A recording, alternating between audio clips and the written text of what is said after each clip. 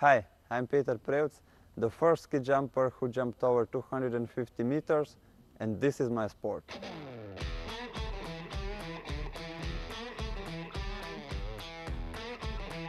When all the pieces came perfectly together and I jumped 250 meters, it was just wow, amazing. It's a new thing in history, but when you're in the air, it doesn't seem so uh, so far. They say that we ski jumpers are crazy because we go downhill just straight forward and then we jump into nowhere to the air. When you make a good jump, you're flushed with adrenaline.